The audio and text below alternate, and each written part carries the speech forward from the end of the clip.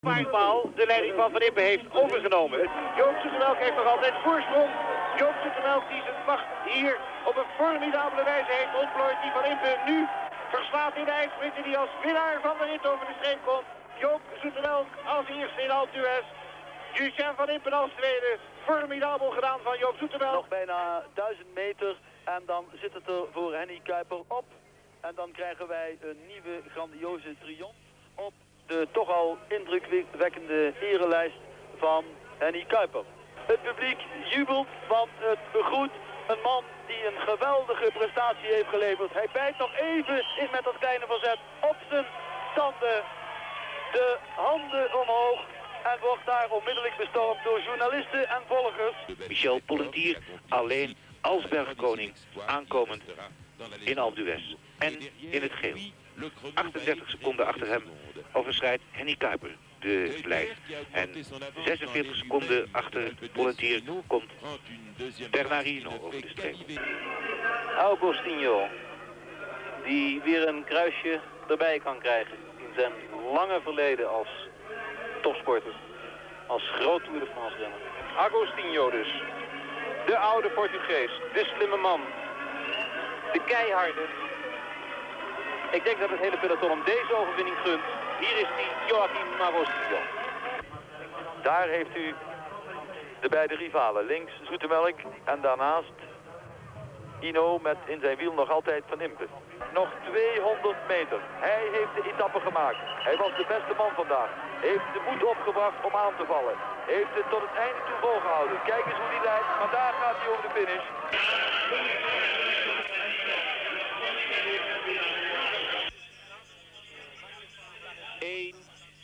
Voor in de twintiger, Peter winnen. Eén midden twintiger, een dertiger. Daar gaat winnen, kijk eens, kijk eens, daar gaat winnen. Hij doet het toch weer, hij lapt het hem weer. En wie gaat er achteraan? Niemand nu, hè? En dan gaan we een nieuwe toerzege opschrijven voor een Nederlander. Rijd door, want daarachter komen Van Impe, Ino en Alban. Hij gaat het winnen. Schitterend. Peter winnen wint de etappe op Alpe d'Huez. Wie had het gedacht? Hij zelf misschien. Eén is winnen. Beat uit Zankt Gallen. Hier krijgen we de etappe-overwinnaar van de 16e etappe. Beat Broy. Eerste man die aanviel onderaan Alpe d'Huez. 21 slingers lang heeft hij geleid. En hij gaat de etappe winnen. Na Pladadet pakt hij deze zeer beroemde etappe. En bevestigt daarmee zijn kunnen. Live reportage van zo net niet gezien, niet gezien heeft. U bent net thuis. Wacht u dan nog even met de hap en ga ervoor zitten. Wij bieden u een heerlijke wielermaaltijd. Het gaat om de 17e etappe van La Tour du Pin naar Alpe d'Huez met acht calls. Hier is de samenvatting met Mart Smeets.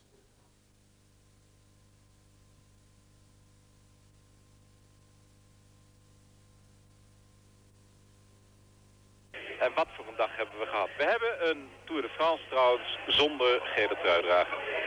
Pascal Simon is als grote held van de fiets gestapt. Hij heeft drie calls vandaag meegereden. En op een gegeven moment toen de achterstand van Simon met de hem omringende iets te groot werd, heeft hij de remmen samengeknepen en is hij uit de Tour verdwenen. Dus uh, Raymond Martin, daar is Gerard Veld Scholten, Peter Winnen. En nou nog even van voren kijken. Dit is Alvio Vandi, de Italiaan. Hey. Die daar ook bij. Je verwacht van Impe, maar je ziet zijn ploeggenoot Vandi. Hier, Gerard Veld Scholten. Wat een fantastische prestatie voor de Twent dat hij hier bij de besten van voren rijdt. Hier is Bernardo, die vandaag ook lang op pad is geweest. Bij de eerste. En dan zal de man vooraan volgens mij Dominique Arno moeten zijn, gezien zijn capaciteiten die hij in de bergen kwijt kan. Klopt. Deze groep heeft een voorsprong van 1 minuut en 30 seconden op het peloton van Impe, zoals het genoemd wordt. Ja, Arno. Twee man dus van de groep van Marcel Boardi. Bernardo, die zo trouw iedere dag heeft aangekondigd dat hij in de Alpen zou aanvallen. Heeft dat ook gedaan nadat Christian Jourdan dat in eerste instantie deed. Is Bernardo naar 70 kilometer gegaan. Na de Col de Cucheron. En dat Raymond Martin erbij is verbaasd, denk ik een ieder, omdat hij in de Pyreneeën-etappe van Po naar Manière de Luchon werkelijk op het punt stond om op te geven. We hebben die beelden u nog laten zien. Dit is die Vandi, die is er dus ook bij. Twee man ook van Post, waarbij winnen. En ik denk toch dat het bij een ieder als een verrassing overkomt Gerard Veldscholten. Dan moet je je niet verkijken op de klasse van Veldscholten, want die heeft hij genoeg in huis. Maar je richt je vizier toch binnen die ploeg op de twee klimmers op Van der Velde en winnen. En dan is Veldscholten natuurlijk een man die fantastische hand- en spandiensten kan verrichten. Bij die twee. Maar dat hij dan nog kracht genoeg heeft om mee te gaan, dat is opzienbaar. Peter Winnen. Aan de hap.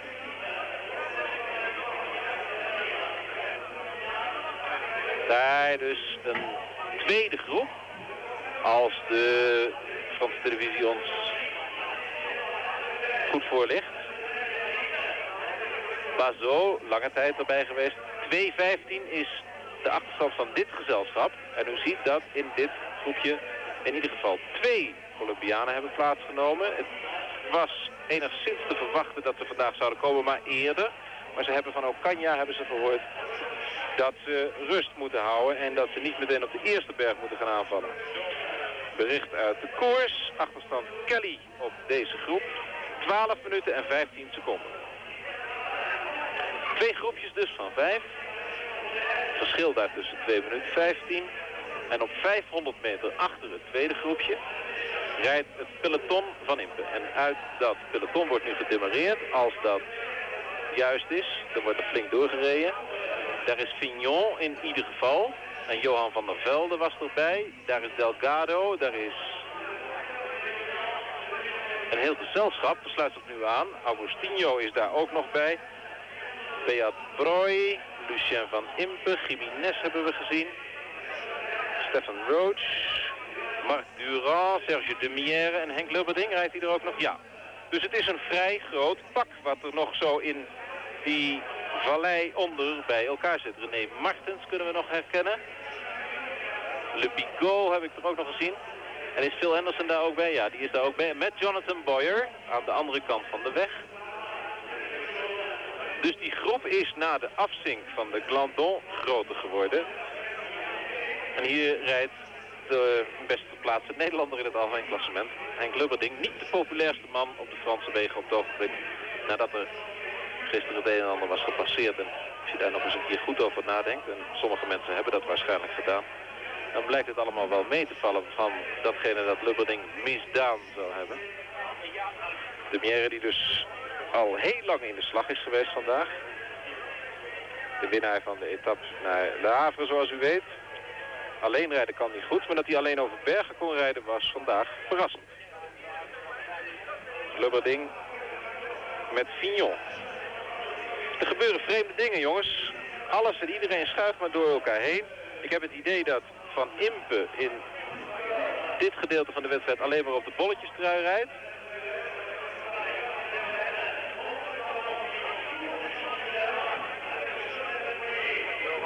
Het was Van der Velde en niet Lubberding zoals ik net zei. En Fignon mag toch wegrijden. En dan komt de groep weer toe. Maar het is dus mogelijk om gaatjes te slaan daar.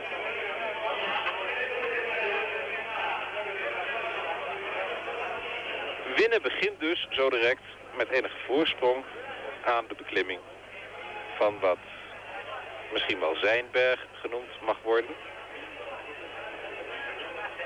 Maar hij moet het nog maar bewijzen. Kijk, daar moeten ze nog op zo.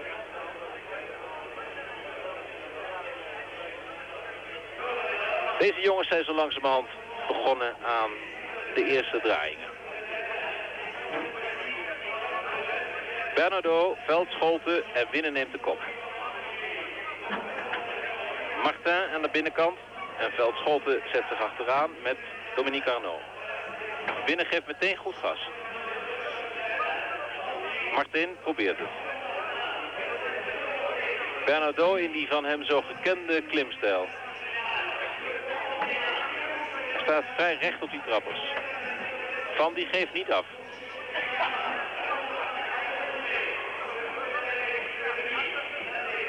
Veld Scholten trekt.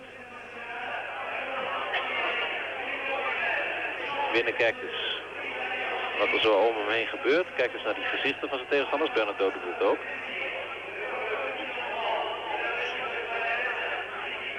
René maar. Hier, Martin heeft ook het hemd wat omhoog gehaald. Vanwege de grote warmte. En probeert het weer. Gaat hij? Ja, zet aan. Zitten. Wie volgt? Binnen.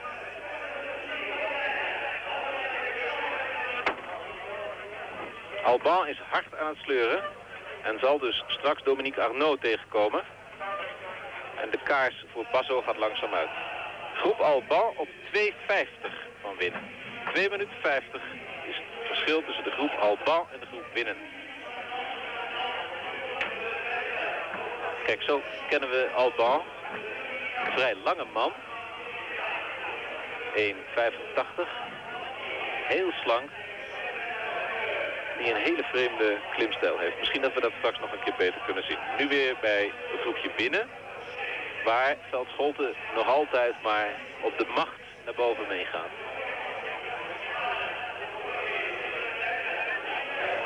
Ja, dit is het bekende beeld van een klimmer waar de benzine tank langzaam van leeg is gegaan. Dan blokkeert dat spel. En dan ga je een beetje zwalken. Je gaat een ander ritme proberen te vinden. Als je hem nog in huis hebt, zoek je een kleinere versnelling. Hij hangt er nog aan. We komen nu als het goed is bij het groepje van Imke. Waar Boyer of Boyer en Agostinho aangesloten hebben. En Van der Velde zit met Vignon, Jiménez, Delgado en Van Impe. Conclusie dus, Arroyo missen we. De winnaar van de tijdrit van de Puy de Dôme missen we. We hebben wel hier Roberto Delgado, die 23-jarige Spanjaard aanwezig. En natuurlijk ook Vignon. Van der Velde gaat aan. Van die Veldscholten, Bernardo en Winnen. Geen tijden tot nu toe gezegd. We zullen het algemeen klassement op bij gaan nemen. Vignon staat dus nu 1. Als dit zo doorgaat... Het verschil tussen Vignon en Bernardo is 4 minuten en 40 seconden. In het voordeel dus van Vignon. Van gaat verder alleen rijden. En heel langzaam gaat voor Gerard Veldscholten de lamp uit. En blijven we met twee over.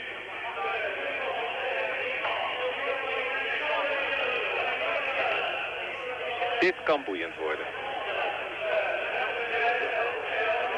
Allebei specialisten van de Alpen. Bernardo een beetje eigenzinnige vent. 10 kilometer nog. 10 kilometer is een end hoor. Oh! Dan moet je die wel die fles loslaten als je die aangeeft. Corridor. Niet Jiménez dus in eerste stelling vandaag als het gaat om de Colombianen, maar het is een corridor. Binnen en Bernardo op 20 seconden veld, Scholten op 40 seconden. Martin op 1.30, Arnaud op 1.45. Corridor op 2.10 de groep Alban.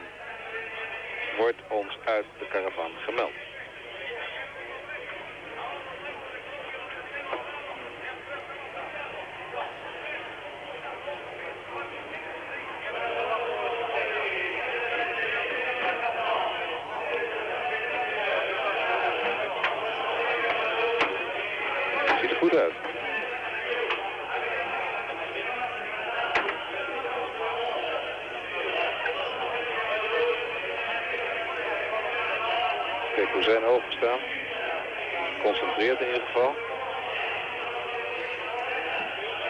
Impe Fignon van der Velde gaat op 3.50 op het ogenblik door. En dat betekent dat we langzaam naar een gele trui voor Jean-René Bernardo gaan.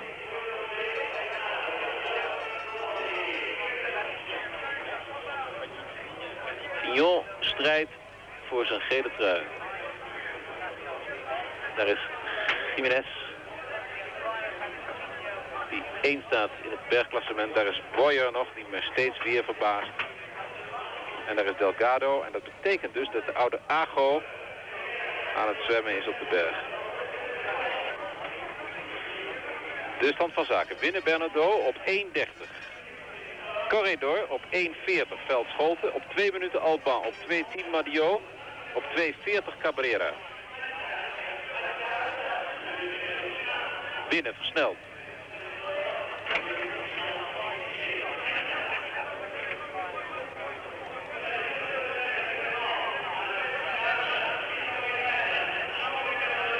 Maar Bernardo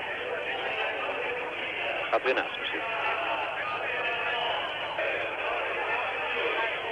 Mario wordt bijgehaald en overstoken door Delgado van Impe Fignon.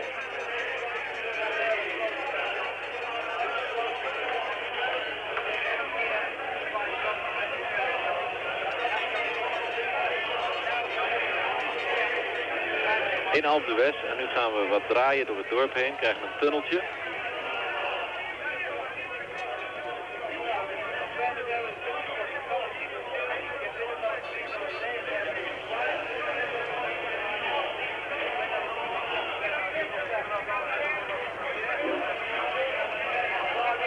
De gedachte wel voorstellen van de Franse regisseur, want hij heeft met Vignon heeft hij de leider van het algemeen klassement in beeld.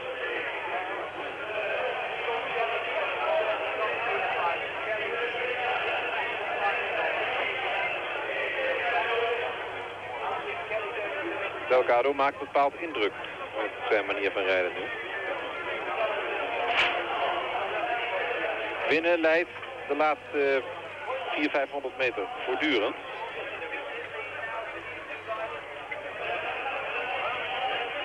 Hij ziet er getekend uit.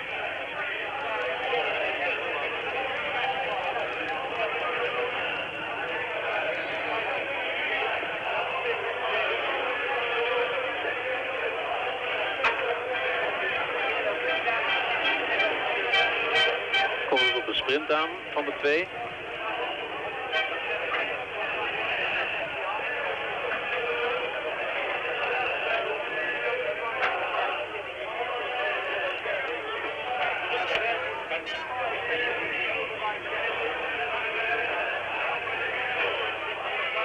Delgado steeds aan de leiding.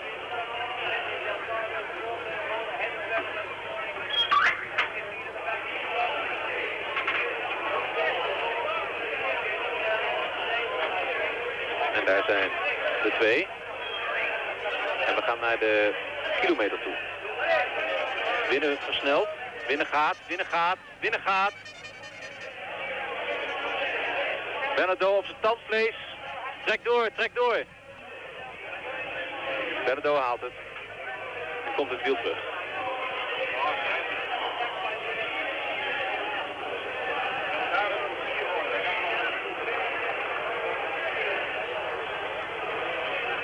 Binnen de kilometer.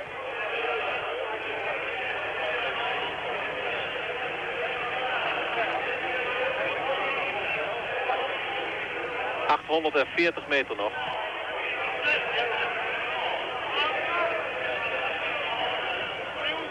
...800 meter nog.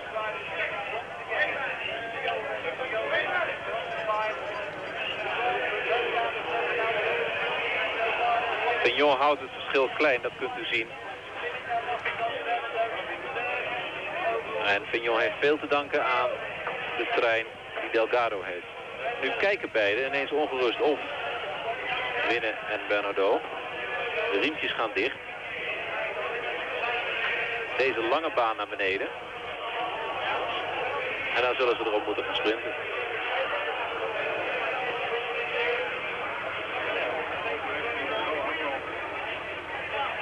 Er zit nogal wat aan automateriaal tussen. En dan komt, als alles goed is, Cabrera en Alban. En dan een groepje Delgado van Impe. Fignon. Moet echt zeggen dat ik van Fignon niet gedacht had dat hij dit spel zo aankomt. Dat hij met deze mannen mee kon staan.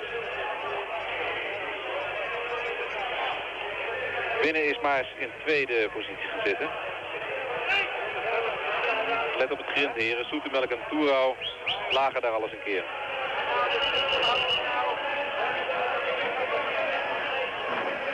Het spel.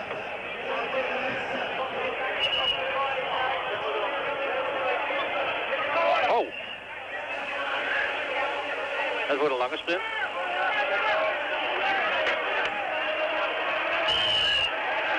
Winnen Bernardo, winnen Bernardo. Winnen, winnen, winnen. Peter winnen. Tweede Jean-René Bernardo. Hij heeft de tweede te pakken. Het was er een op leven en dood ook werkelijk. Maar hadden. God voor drie wel een mooie overwinning. Goh. Werkelijk.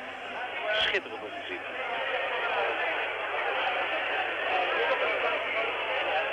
Uit de bocht. Corridor.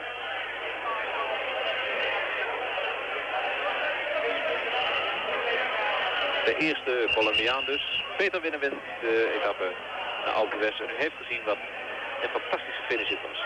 En zo lang zitten de heren al op de fiets. Wat een vak.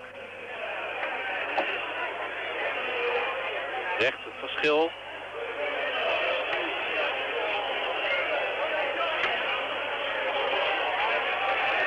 Bijna een minuut dus, de achterstand. Corridor is binnen. Als nummer 3. Hier komt Alban. Terwijl het beeld bij mij in ieder geval zeer wollig is. Niet meer scherp te houden is. Robert Alban. Die begon met 3,50 achterstand, dat weet u. En op 1,22 achterkomt. Bernardo, hij ziet er fris uit. Het is niet iemand die 7,5 uur op fiets heeft gezeten en zojuist op leven en dood gestreden heeft. Dit is wel pijn. Auw.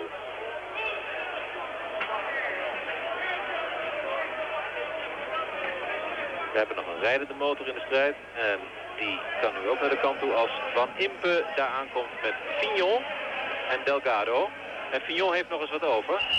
Fignon gaat de gele trui uh, pakken. We zijn naar de twee minuten verschil toe. We hebben vier man binnen. En Laurent Fignon sprint op de macht, werkelijk. Fignon 5, Van Impe 6, Delgado 7 op 2 minuten 8 achterstand. Dus 2-8, 2-10, 2-12 zeg maar. Binnen Bernardo, Cabrera, Alban, Fignon, Van Impe, Delgado.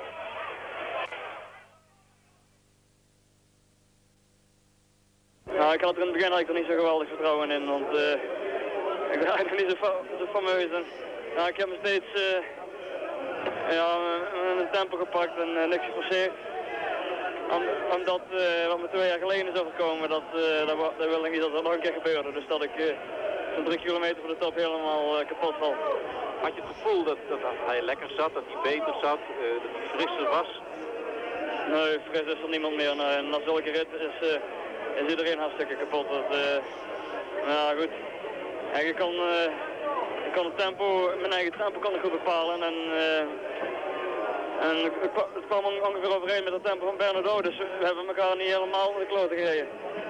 Dus uh, wat dat betreft ging het goed, maar, maar het is erg moeilijk om hier boven te raken. Dus ja. Ze noemen het nou jouw specialiteit. Toch moet er wat meer gebeuren om een tour te gaan winnen. Ja, kijk, uh, ik verlies in de tijd dat er nog te veel. Nou, ik kwam hier in de ronde met uh, ja, een zware kou op mijn lijf. En dan heb ik nog een kuur antibiotica in moeten gooien. En ja, kijk, dat gaat ook niet in de koude kleren zitten. Luister eens, ik wil even het onderwerp veranderen. Ik heb Johan van der Velde dus binnen zien komen op 7 minuten 13. Nu ben jij de eerste man van Forst. Ja, nou, dat is de afspraak ook. Kijk, uh, wie op een gegeven moment het, beste perspectief heeft, die, uh, die wordt de man van het klassement. Dat ben jij dus. Uh, dat ben ik dus, maar als Johan goed is overmorgen bijvoorbeeld, dan, kan hij nog makkelijker rit winnen. Nou ja, makkelijk, hij, als je toch in staat om een rit te winnen. Maar het gaat om het winnen van de Tour. Nou, dat maar elke rit moet je ook meepakken. En je moet niks laten liggen natuurlijk. Maar hij zal natuurlijk mij nooit van heel lang gaan rijden nou. Dus nu is het zo, jij bent de absolute kopman en de Bosploeg gaat proberen om jou winnend in Parijs te krijgen. Nou ja, winnen in Parijs. Ik weet niet, uh, ik ken de stand van zaken op het moment niet helemaal. Pignon blijft leiden. Pignon leider en uh... Bernardo komt dichterbij, jij wint natuurlijk een stuk. Kelly is een net weggeduikeld. Mario gaat redelijk mee. Ja, kijk, er komen nou nog, uh, komt nog een heel zware berg in. Ik denk dat die nog moeilijker is als deze. En dan komt er nog een klimtijdrit. En nog een individuele tijdrit. En dat zijn allemaal dingen die, uh, die niet in je koude kleren zitten. Peter Winnen, ja sorry dat ik nog even schreef, maar het is ook zo ingewikkeld om alle klassementen voor u op tijd te krijgen, zodat u de zaak thuis nog eens op een rijtje kunt zetten. Dit was dus de vreugde van Peter Winnen en toch ook een beetje het verdriet van de andere Nederlandse favoriet voor de Tourzege Johan van der Velde. Laten we maar eens een paar kaartjes laten zien. Allereerst die met de eerste tien van het dagklassement. Winnen dus de trotse overwinnaar. Met Bernardo, Corridor, Alban, die in die fantastische achtervolging nog zo dichtbij kwam, Fignon, Van Impe, Delgado, Martin, Jiménez en ook die schitterende tiende plaats van Gerard Veldscholten op 3 minuten en 6 van winnaar Peter Winnen. Dan het algemeen klassement.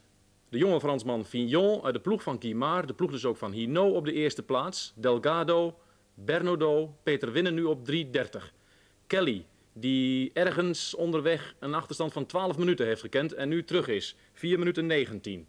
Mario, Alban, Van Impe, Arroyo en Jiménez. Zij allen behoren nog tot de favorieten voor de eindzege, zou je zo zeggen.